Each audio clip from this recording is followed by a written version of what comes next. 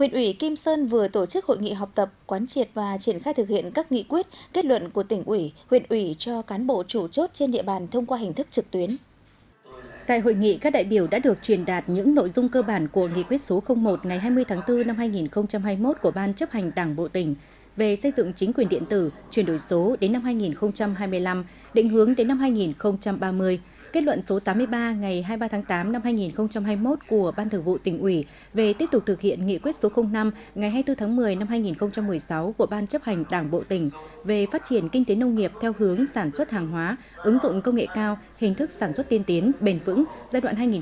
2016-2020, định hướng đến năm 2030. Nghị quyết số 02 của Ban Thường vụ huyện ủy Kim Sơn về tăng cường sự lãnh đạo của Đảng đối với công tác đảm bảo an ninh trật tự, an toàn giao thông và vệ sinh môi trường trên địa bàn. Nghị quyết số 03 của Ban chấp hành Đảng bộ huyện về tăng cường công tác lãnh đạo của Đảng đối với công tác quản lý nhà nước về đất đai và giải quyết khiếu nại tố cáo liên quan đến đất đai